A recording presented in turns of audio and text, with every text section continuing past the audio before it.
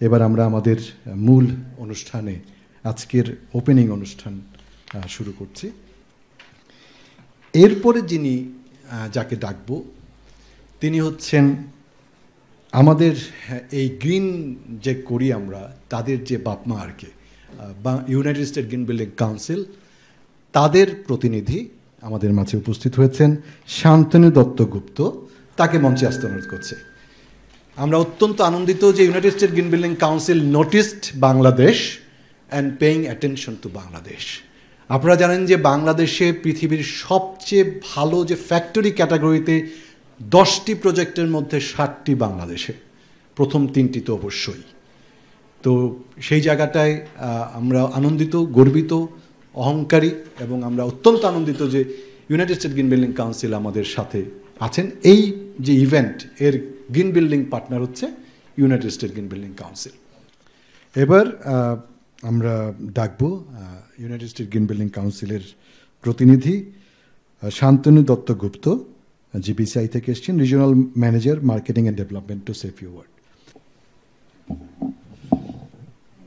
good morning সবাইকে অভিনন্দন জানিয়ে দু এক কথা বলব। আমার নাম শান্তনু দত্তগুপ্ত আমি মার্কেট ডেভেলপমেন্টে রয়েছি ইউএসজিবিসিতে। এশিয়া প্যাসিফিকের দায়িত্বে আছি। বাংলাদেশ আমার একটি রিজনের মধ্যে পড়ে এবং খুব কাছের রিজন খুব হৃদয়ের কাছাকাছি একটি জায়গা। আজকে যে প্রোগ্রামটি অনন্তদা আয়োজন করেছেন সেটি দুটি কারণে খুব প্রিয় আমার কাছে। আর অনন্তদা যে কাজটি করছেন থ্রি সিক্সটি টিএসএল সেটি দুটি কারণে মহান। একটি কারণ হচ্ছেন, উনি পরিবেশের জন্য কাজ করছেন। এটি একটি নোবেল জব। আর দ্বিতীয়টি আরও ইম্পর্ট্যান্ট উনি ফিউচার জেনারেশনদের ক্রিয়েট করছেন, যারা দেশকে ভবিষ্যতে এগিয়ে নিয়ে যাবে। উনি একজন মাস্টারমশাইয়ের কাজ করছেন, ছাত্রছাত্রী তৈরি করছেন, স্কিল ডেভেলপমেন্ট করছেন। সেটা কিন্তু সচরাচর প্রফেশনালরা করেন না বা করার সুযোগ থাকে না। এই জন্য আমি চাইব উপস্থিত সকলে একবার বড় হাততালির মাধ্যমে টিএসএলকে অভিনন্দন জানাই। আমরা ইউএসজিবিসির পক্ষ থেকে আগামী দু বছরের জন্য প্ল্যান করেছি, বাংলাদেশ আমাদের কাছে ওয়ান অফ দ্য প্রায়োরিটিস যেখানে আমরা স্কিল ডেভেলপমেন্ট করব।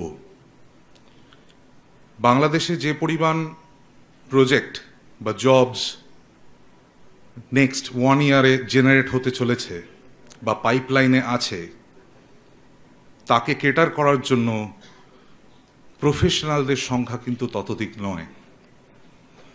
যদি পৃথিবীতে দেখা যায়, পাশ্চাত্য দেশে বা আমেরিকাতে বলুন বা ইউকেতে বলুন, বহু সংখ্যক লিড জিএ, লিড এপি রয়েছেন। আমাদের ইন্ডিয়াতেও বহু লিড এপি, লিড জিএ রয়েছেন। কিন্তু বাংলাদেশে সেই সংখ্যাটা খুবই কম। অনন্তদা একজন গ্রিন প্রফেশনাল, তিনি প্রজেক্টের কাজ করে থাকেন। কিন্তু সাইড বাই সাইড উনি ওথ নিয়েছেন যে বাংলাদেশকে ডেভেলপ করবেন। এটি একটা নোবেল ভিশন। এই নোবেল ভিশনের জন্য ইউএসজিবিসি জিবিসিআই টিএসএল এর পাশে সবসময় আছে। আমি উপস্থিত সবাইকে আহ্বান জানাব, এই সাত দিনের ইন্টারঅ্যাক্টিভ সেশন খুব মনোযোগ দিয়ে অ্যাটেন্ড করার জন্য এবং যদি কোনো কনফিউশন ক্রিয়েট হয়, এখানে লিডার্সরা উপস্থিত আছেন মার্কেট লিডার্সরা যারা কুড়ি বছর, পঁচিশ বছর ধরে কাজ করছেন, কাজটাকে তারা হাতের তালুর মতো জানেন।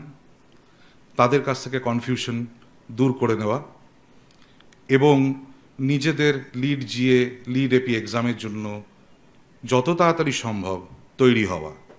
To address the vacuum right now we are experiencing in this market আমাদের দু হাজার পঁচিশের মধ্যে প্রায় পনেরোশো লিড এপি এই মার্কেটে দরকার।